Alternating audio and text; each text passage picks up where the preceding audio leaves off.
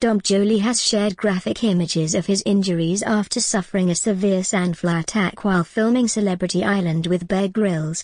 The comedian was left to fend for himself when he and nine other celebrities were placed on a deserted island, in the Pacific for charity.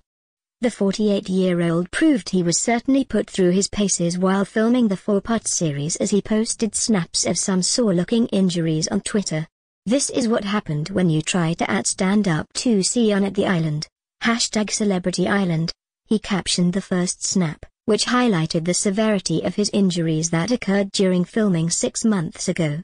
And while half a year has passed, Dom revealed his wounds are still a long way from healing completely.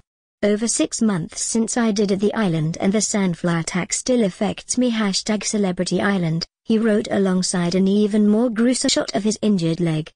But while their, images were far from pleasant. The comic's 229,000 followers couldn't resist engaging in some banter with the star.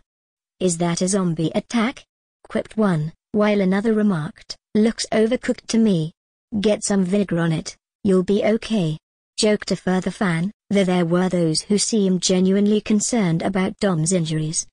Hope you've had that checked out, looks nasty, one follower affirmed, before a further fan blasted showmakers for being irresponsible. At Dom Joly lessons to be learned. TV producers take note. Celebs can get hurt. Do it properly. Call peers now.